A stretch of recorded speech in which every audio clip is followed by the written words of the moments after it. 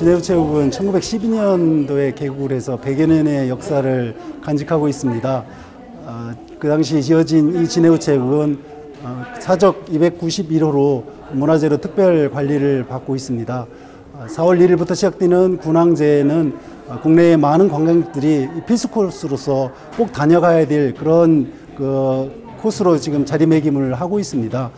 어, 창원시 경제가 전반적으로 사실 좋지 않습니다.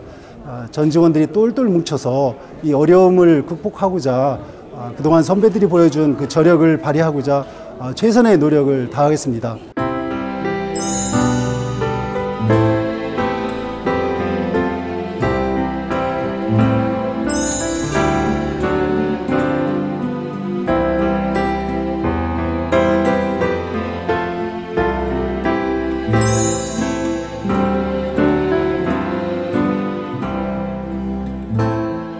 아, 요즘은 그 우표를 가지고 편지 쓰는 문화가 지금 사라지고 있잖아요.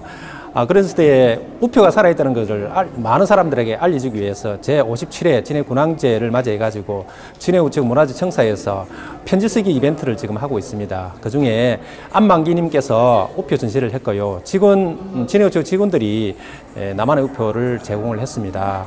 그리고 진흥회에서 맞춤형 엽서를 무료로 제공해 주셔서 많은 사람한테 엽서를 나눠줘 가지고 어, 행사가 성황리 진행되고 있습니다.